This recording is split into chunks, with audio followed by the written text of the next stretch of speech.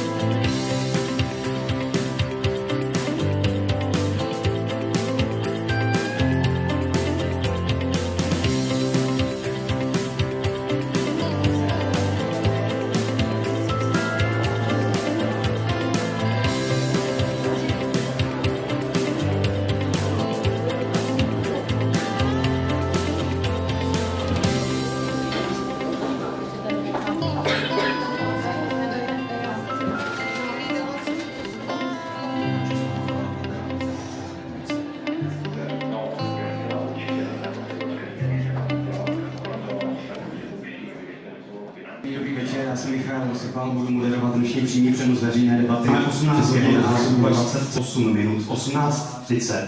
Začneme vysílat zprávy. Pár dní po ruských prezidentských volbách, ve kterých dle očekávání zvítězil Vladimir Putin, je právě toto téma další veřejné debaty Českého rozhlasu Plus. Vysíláme živě z Olomouce z festivalu rozhlasové tvorby Pri Bohemia Radio.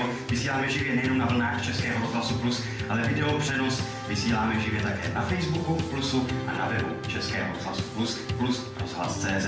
Vítám pěkně v poslechu tedy všechny posluchače, sledování všechny naše fanoušky na sociálních sítích a srdečně vítám také diváky tady ve zcela zaplněném až přeplněném sále v Uměleckém centru Univerzity Palackého Olomouci. Hezký večer.